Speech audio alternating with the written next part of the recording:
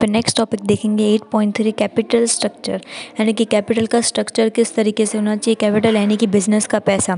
तो ये बिज़नेस का पैसा है, किस तरीके से हम कैसे इंपॉर्टेंट फाइनेंस टर्म में ड्राइव करेंगे वो हम देखते हैं. इसमें हम सब कैटेगरी देखेंगे eight point three point one concept and definition पहले इसका कॉन्सेप्ट ऑफ़ डेफिनेशन देख लेते हैं. There are two important aspect of financial plan दो तरीके के यहाँ पे फाइनेंशियल प्लान होते हैं. First to estimate need of capital problem of capitalization यानी कि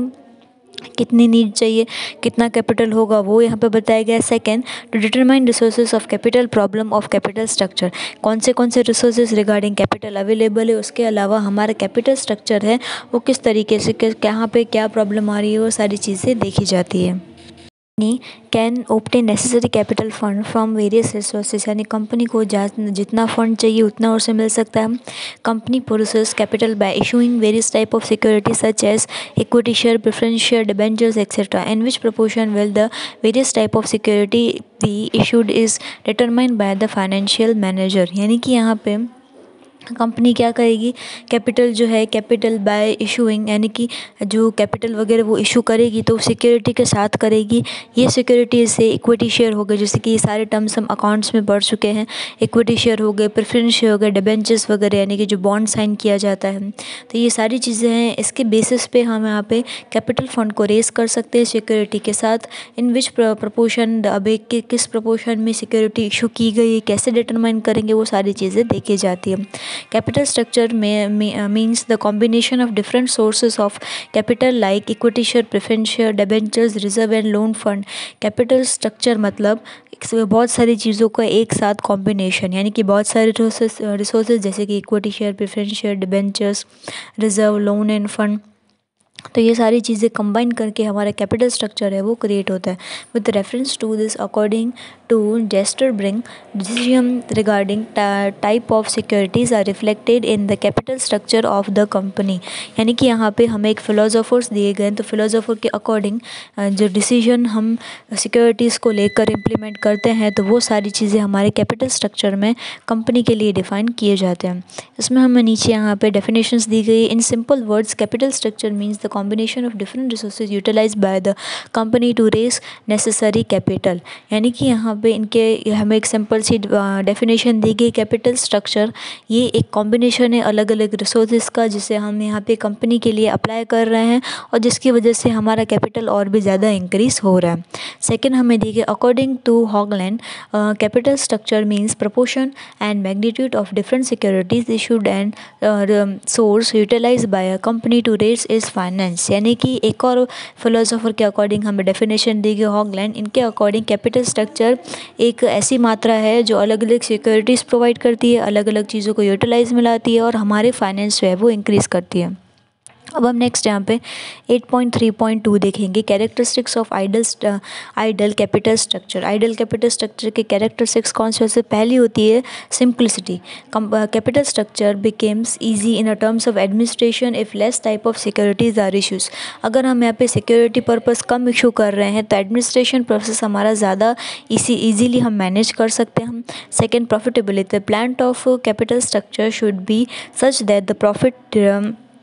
remains optimum यानी कि इतना होना चाहिए कि प्रॉफिट हम ज़्यादा से ज़्यादा अर्न कर सकें। थर्ड यहाँ पे दिया हुआ adequate finance various source should be combined in such way that adequate finance can be obtained यानी कि ज़्यादा से ज़्यादा फाइनेंस हम अकर कर सकें, वैसी चीज़ें भी हमें यहाँ पे ड्राइव करनी चाहिए।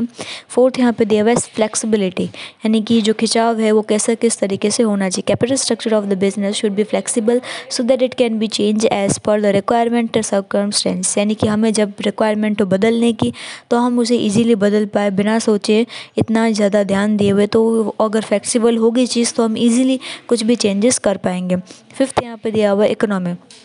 various uh, resources should be combined in such a manner that the cost of capital is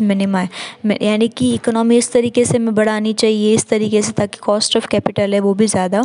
हम यहाँ पे बढ़ा सकें। सिक्स दिया हुआ balancing there should be a proper equilibrium between the owners capital and the borrowed capital यानी कि हम जो ओनर से कैपिटल ले रहे हैं यानी कि जो पैसा ले रहे हैं बाहर से हमने जो कैपिटल क्रिएट किया है लोगों से उधार लेकर तो वो चीज़ें भी बैलेंस में होनी चाहिए ताकि हमारे ऊपर लोड जो है वो ज़्यादा ना हो जाए। फिर दिया हुआ liquidity there should be type of provision in capital structure that the liability and debit can be paid in a time यानी कि हम यहाँ पे हमारे प्रोविज़न कैपिटल के अकॉर्डिंग इस तरीके से होने चाहिए ताकि हमारे जो लाइबिलिटी हमने जो जनरेट की है वो टाइम टू टाइम पे हो जाए। एट्थ हमें यहाँ पे दिया हुआ attractiveness it should be attractive so that various time of investor invest in the company यानी कि हमारी कंपनी की पॉलिसीज़ इस तरीके से अट्रैक्टिव पोर्शन में होनी चाहिए। ज़्यादा से ज़्यादा इन्वेस्टर हमारे शेयर्स को परचेज़ करे और हमारी कंपनी का इन्वेस्टमेंट पर्पज़ ज़्यादा हो जाए। नाइन्थ यहाँ पे दिया है solvency the proportion of borrowed capital should not be so large that the burden of interest can not be borne and risk of insolvency in insolvency is rest यानी कि solvency यानी कि जो पैसा नहीं दे रहा है या हमने जो कैपिटल बोरो किया है, वो इतना ज़्यादा नहीं होना चाहिए, ताकि हमें उनका इंटरेस्ट भी इंटरेस्ट भी इतना ज़्यादा नहीं होना चाहिए कि हमारे लिए वो चीज़ रिस्क में कन्वर्ट हो जाए।